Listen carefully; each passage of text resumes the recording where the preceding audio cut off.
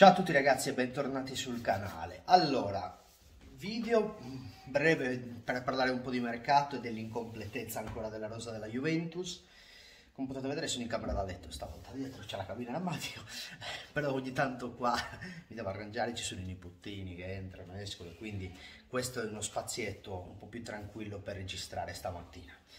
Allora, parliamo un attimo della situazione eh, mercato della Juventus in generale, perché ora veramente mancano 15 giorni all'inizio della stagione e la rosa non è completa. E vi dico io, eh, vi dico io nel senso non in maniera categorica o assolutistica, ci mancherebbe altro, vi do la mia opinione su cosa manca ancora a questa squadra, come andrebbe migliorata la Juventus e, e, come la Juventus dovrebbe muoversi per cercare di arrivare poi ai momenti importanti della stagione, tra cui l'inizio del campionato, con una rosa almeno quantomeno chiusa, finita in ogni ruolo. Prima di iniziare, ovviamente vi invito a iscrivervi al canale se ancora non l'avete fatto, perché la maggior parte di voi non è iscritta al canale, importantissimo. Poi vi invito a scaricare l'app OneFootball, trovate il link in descrizione, la migliore app per rimanere aggiornati sul calcio. Eh, l'app è gratis, Android, iOS, link in descrizione, non sbagliate. Allora, sto iniziando a sentire una marea di nomi buttati a caso da parte dei media. Nomi buttati a caso perché c'è incoerenza dal punto di vista delle caratteristiche del profilo. Vi faccio un esempio molto banale.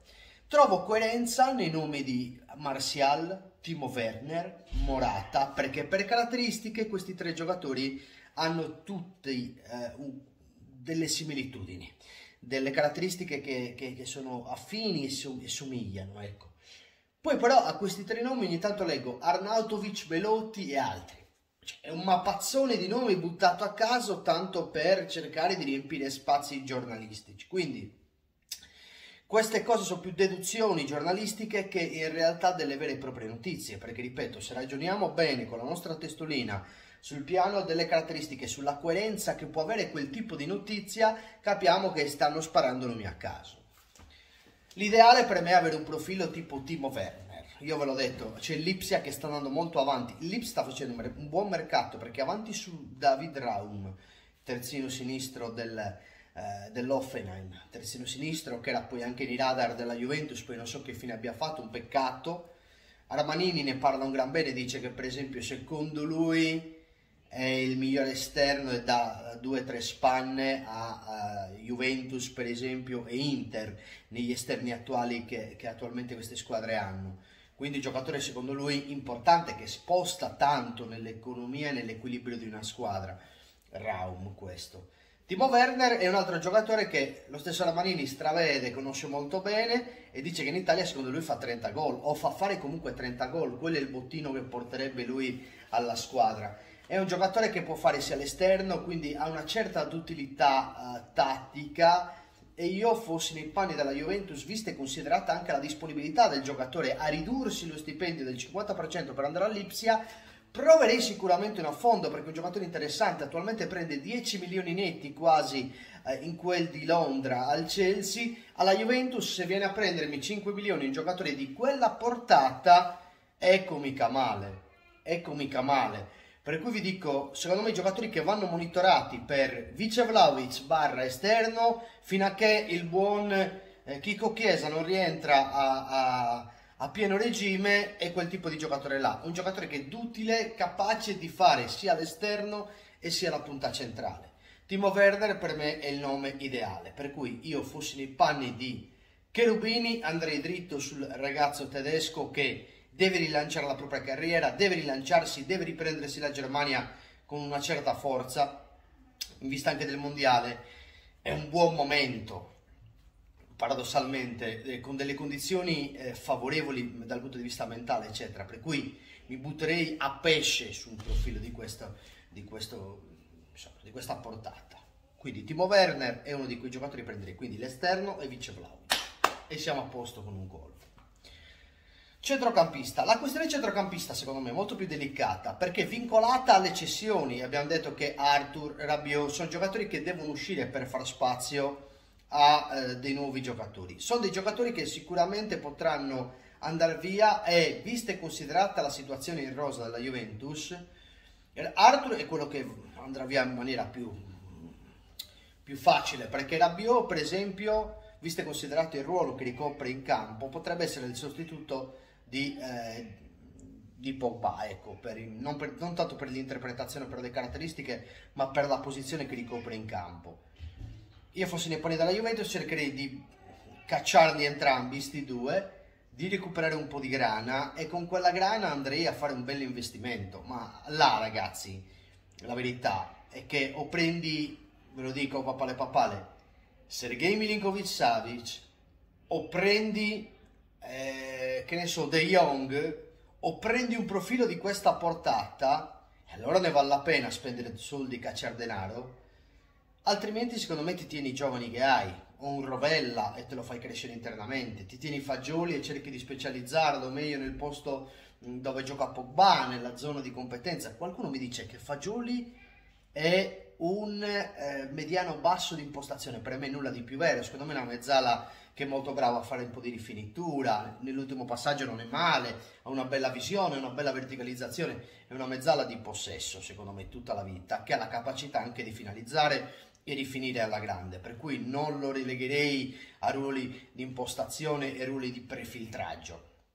Quindi vi dico, situazione centrocampo, o, prend- o facciamo il colpo col botto o a sto punto per prendere un colpo medio come Paredes, che a me preoccupa anche dal punto di vista fisico, ve l'ho già detto, anche se è un buon giocatore che magari sposta anche un pochettino, Preferisco fare un percorso per i giovani e per cercare magari di migliorare. Voi magari mi direte, eh colpo, ma non è sufficiente, sono d'accordo con voi. Tant'è vero che a quel punto io preferisco prendermi un De Jong e un Milinkovic Savic e direte, grazie al cazzo, eh, per così. E così per spendere soldi e sperperare risorse per avere un giocatore medio per 4-5 anni, preferisco rimanere o con quelli che siamo cercando di valorizzare i giocatori interni e magari poi se non si rivelano da Juve li possiamo vendere, comunque ci abbiamo creato del valore sopra Oppure prendo un giocatore forte che già quando arriva impatta e sposta tanto. Questa è l'altra alternativa.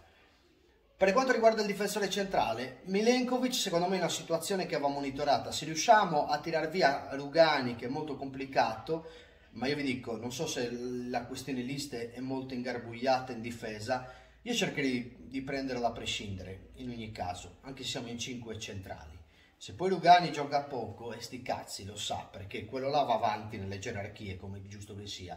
Occhi a Gatti, che lo stiamo sempre sottovalutando, ma Gatti è un'incognita ancora, la teniamo come incognita ed è meglio così, perché noi addossiamo le responsabilità di dover fare il vice qualcuno quando si rompe o Bremer o Bonucci quindi lui gioca con una certa tranquillità, con una certa serenità, conscio del suo ruolo. Se poi sarà valido, eventualmente scalerà le gerarchie e andrà a prendersi un'eventuale titolarità, magari proprio con Bremer in coppia. Quindi è da vedere. Difensore centrale, ripeto, prenderei tutta la vita Milenkovic. E infine, ragazzi, andrei a chiudere sul terzino sinistro. Cercherei di liberarmi di Pellegrini perché Pellegrini è una riserva che lo stesso Allegri non vede bene, non vede bene. Poi lì c'è Alessandro che l'anno prossimo va in scadenza, mi prendo un terzino sinistro, aspetto che Alessandro l'anno prossimo vada in scadenza, arriva di nuovo Cambiaso che torna dal prestito col Bologna e ho la batteria dei terzini sinistri già fatta, fatta e finita. Cioè, è questa secondo me la cosa che manca per completare la rosa. Quattro colpi ben assestati, anche se questi quattro colpi sono anche in parte vincolati da alcune cessioni. Però se la Juventus vuole arrivare completa e finita come squadra al primo di settembre, ecco, questo è un buon modo per eh, arrivare là tranquilli, fare un'annata straordinaria, fare un'annata dove non sei corto, dove non ti devi cagare addosso perché ti si rompe il tizio e non hai caglio. Ovviamente anche in attesa di un ritorno di Chico Chiesa, che tornerà a breve. Però, ecco, sono questi io i colpi che assisterei per completare la rosa. E le mie preoccupazioni sono condivise con voi, perché se la Juventus fino ad ora ha fatto un buon mercato, se non me lo chiude con questi quattro colpi. E là si perdono punti, come giusto che sia, è come un videogioco. Un videogioco, fai bene tutto l'inizio, chiudi male il, lo schema, magari un gioco di piattaforme come Fall Guys, quando giocate in squadra. I primi due arrivano benissimo, poi gli altri due eh, non arrivano più e le altre squadre ti superano. È così che funziona in quel gioco, è così che funziona anche nel dare il voto al mercato della Juventus. Aspetto le vostre opinioni sotto nei commenti, iscrivetevi al canale e sempre ragazzi, sempre, fino alla fine.